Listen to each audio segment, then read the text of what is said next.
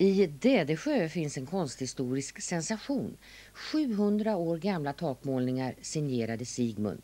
I programmet Medeltida bilder i Dädesjö klockan 19.30 här i TV2 visar konservator Håkan Lindberg bland annat hur han med sin pensel konserverar Mäster Sigmunds eleganta penseldrag från 1200-talet.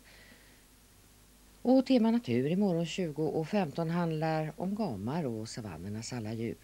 Och det var några av ingredienserna i morgondagens utbud här i tvåan som börjar 15.20 med att Omnibus kammarblåsare spelar Mozart. Nu väntar vi på Lace.